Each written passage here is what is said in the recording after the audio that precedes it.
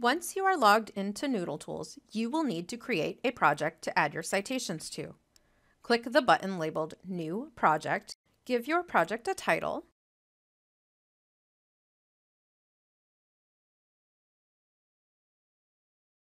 select the appropriate citation style, leave the citation level at Advanced, and click Submit.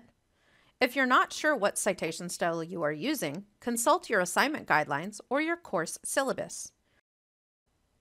Here, you're able to start entering sources into this new project.